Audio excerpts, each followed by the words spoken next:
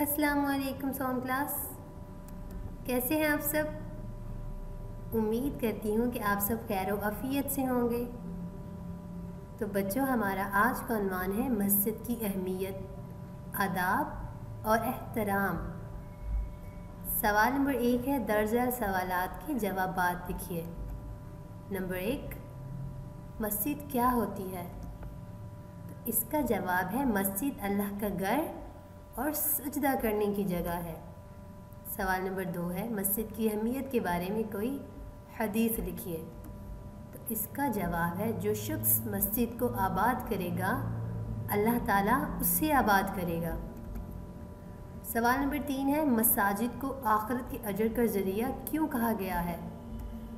इसका जवाब है, क्योंकि मसाजिद अल्लाह का घर है। ठीक है? तो जो कोई अल्लाह के घर को तमीर करेगा अल्लाह पाक भी जन्नत में उसका घर बनाएँगे। इसलिए मसाजिद जो हैं, वो आखरत के निजात का ज़रिया है। सवाल नंबर चार है, मस्जिद में दाखिल होते वक्त और बाहर निकलते वक्त कौन सा कदम आगे बढ़ाना चाहिए? इसका जवाब है, मस्जिद में दाखिल होते वक्त दायां पाँव अंदर रखा जाए और बाहर आते वक्त बायां पाँव बाहर रखना चाहिए। ठीक है?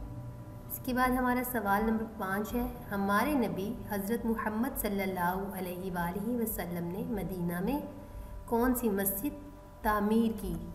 तो इसका जवाब है मस्जिद कुबा। ठीक है? हमारे प्यारे नबी अलैहि वसल्लम ने मदीना मुनवरा में मस्जिद कुबा तामीर की थी।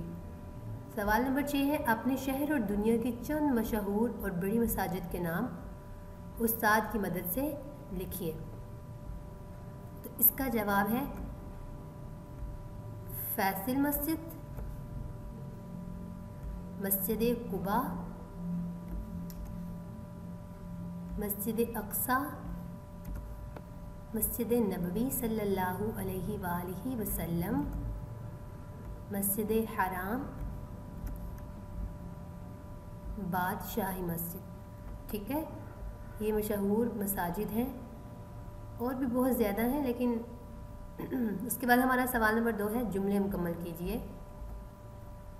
तो नंबर एक, मस्जिद के मायनी है सजदा करने की जगह। नंबर दो, मुसलमान की ज़िंदगी में मस्जिद की बड़ी अहमियत है। नंबर तीन, मुसलमान आबादियों में हर मोहल्ले की अपनी मस्जिद होती है। और नंबर चार है, आप सल्लल्लाहु अलैहि वसल्लम ने मक्का से मदीना हिजरत फरमाई तो सबसे पहले मस्जिद का काम शुरू किया। ठीक है? नंबर पाँच है, इस्लाम की पहली मस्जिद मस्जिद कुबा है। और नंबर छः है, मस्जिद हराम मक्का में है। ठीक है बच्चों? तो आपको पता चला कि इस्लाम की जो पहली मस्जिद है, वो कौन सी है? इस्लाम की पहली मस्जिद मस्जिद कुबा है, ठीक है? सवाल नंबर तीन है, अहदीस मुकम्मल कीजिए। तो नंबर एक है, जो मस्जिद को आबाद करेगा, अल्लाह ताला, इसका जवाब होगा यह हदीस मुकम्मल होगी, जो मस्जिद को आबाद करेगा, अल्लाह ताला उससे आबाद करेगा। नंबर दो वाली हदीस है, जो शख्स मस्जिद बनाने में या मस्जिद के कामों में मसरूफ़ हो उसके तो ये मुकम्मल होगी जो शख्स मस्जिद बनाने या उसका, या उसके कामों में मसरूफ़ हो, उसके मोमिन होने के गवाह बन जाओ, ठीक है? यानी वो मोमिन है, वो ईमान वाला है, इस चीज़ की गवाह बन जाओ। बाजमात, नमाज़ पढ़ना, डैश, सवाब रखता है। ये जब मुकम्मल होगी तो बनेगी बाजमात नमाज़ पढ़ना सताईस गुना ज़्यादा सवाब रखता है। उसके बाद है, अल्लाह ताला किस किस को अपनी रहमत के साय में जगह देगा। इसका जवाब है, इंसाफ करने वाला हुक्मरान, बचपन से नमाज़ पढ़ने वाला, मस्जिद में पाबंदी से नमाज़ पढ़ने वाला, ठीक है? ये वो लोग हैं जिनको अल्लाह पाक अपनी रहमत के साय में जगह देंगे। ठीक है, बच्चों। इसके बाद हमारा सवाल नंबर चार है, मस्जिद से करीब घर के फ़वाद को अल्फाज में लिखिए। तो जब हमारा मस्जिद के करीब घर होगा तो उससे हमें क्या क्या फ़ायदे हासिल होंगे? नंबर एक है, अज़ान की आवाज़, यानी हमें अज़ान की आवाज़ अच्छे से आएगी। नमाज़ की अदायगी में सहूलत जब हमारा घर मस्जिद के करीब होगा तो हमें नमाज़ अदा करने में बड़ी सहूलत होगी। पहले सफ़ में जगह। जब घर हमारा मस्जिद के करीब होगा तो हमें पहले सफ़ में नमाज़ अदा करने के लिए जगह मिल जाएगी। गुनाहों से इजतनाब। तो हम गुनाहों से दूर रहेंगे, क्योंकि मस्जिद हमारे घर के करीब होगी। नमाज़ की पाबंदी।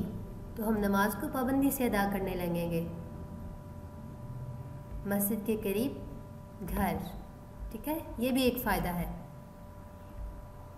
सवाल नंबर पाँच है गल दुरुस्त। तो नंबर एक है, मस्जिद के मायनी सजदा करने की जगह। तो ये दुरुस्त है, मस्जिद के मायने सजदा करने की जगह है। उसके बाद है, मस्जिद का एहतराम, हम पर लाजिम है। तो ये भी दुरुस्त है, मस्जिद का एहतराम हम सब पर लाजिम है। मुस्लिम आबादी में मस्जिद नहीं होती तो ये गलत है। क्योंकि मस्जिद है ही मुस्लिम आबादी की निशानी। आप सल्लल्लाहु अलैहि वसल्लम ने मक्का से हिजरत नहीं की? तो ये गलत है, क्योंकि हमारे प्यारे नबी सल्लल्लाहु अलैहि वसल्लम ने मक्का से हिजरत की थी। हमारे नबी सल्लल्लाहु अलैहि वसल्लम मस्जिद की सफ़ाई खुद करते। तो ये भी दुरुस्त है, क्योंकि हमारे नबी पाक सल्लल्लाहु अलैहि वसल्लम मस्जिद की सफ़ाई खुद किया करते थे। तो प्यारे बच्चों, आपने इन सबको बहुत अच्छे से याद रखना और अपना ख्याल रखिएगा। अल्लाह हाफिज़।